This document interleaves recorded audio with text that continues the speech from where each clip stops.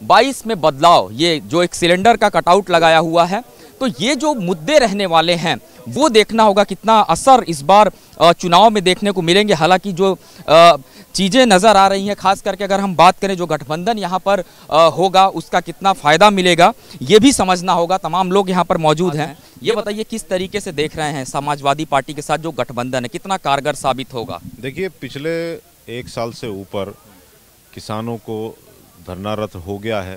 पूरे प्रदेश में, पूरे भारत में किसान परेशान है इस केंद्र सरकार और उत्तर प्रदेश सरकार से।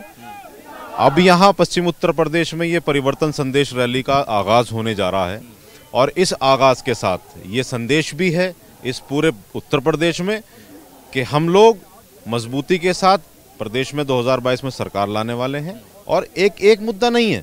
मुद्दे बहुत हैं। मुद्दे आप देख लीजिएगा, बेरोजगारी का मुद्दा।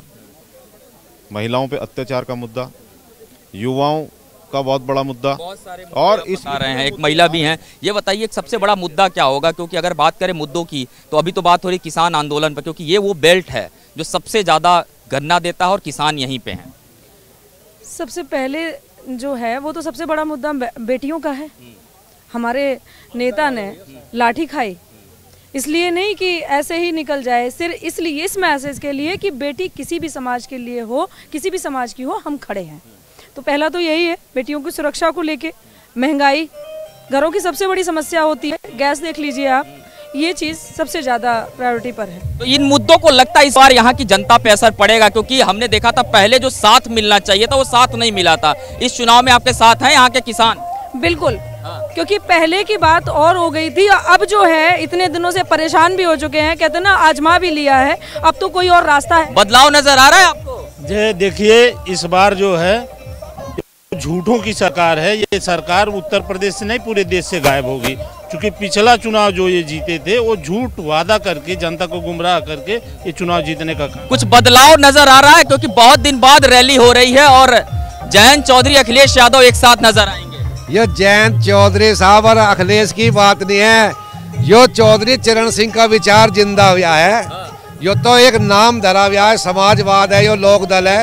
यानी पक्की दोनों पार्टी एक विचारधारा की है और वो विचारधारा आज इकट्ठी लोगों को दिखाई देगी। हम तो ऐसा समझ रहे मान्य अखिलेश जी को और चौधरी जैद साहब को अज्ञो हटके से चौधरी चरण सिंह की आत्मा के रूप में दोनों यहाँ तक दिखाई देंगे। बदलाव तो हुआ पड़ा। बिल्कुल तो तमाम जो लोग हैं, देखिए, हमने दोनों ही तरफ़ से बात किया। चाहे हम रालौत की बात करें, समाजवादी पार्टी के समर्थकों की बात करें, लगातार रैली स्थल पे पहुँच रहे हैं और इस बार जो ये लक्ष्य रखा गया, क्योंकि पश्चिमी यूपी में अखिलेश यादव की रैली है और हालाँकि इस रैली की अगर बात करें तो इस रैली को परिवर्तन रैली का नाम दिया जा रहा है। परिवर्तन रैली जयंत चौधरी जो है, खुद करने जा रहे थे और यही वो मंच बनाया गया है। इस मंच पे अखिलेश यादव पहुँचेंगे और जयंत चौधरी अब से थोड़ी देर बाद पहुँचेंगे। दोनों लोग साथ ही आएँगे। मुद्दे जो है, बहुत स्पष्ट हो चुके हैं। महिलाओं से बात हुई, महिला सुरक्षा की बात की जा रही है। पश्चिमी यूपी में किसानों का जो मुद्दा है, वो सबसे अहम रहेगा। ज़ाहिर सी बात है, इस गठबंधन के बाद उत्तर प्रदेश में सियासी ऊट किस करवट बैठेगा, ये तो चुनाव के बाद ही पता चलेगा। कैमरामैन आकाश के साथ गौरव मिश्रा न्यूज़ इंडिया मेरठ।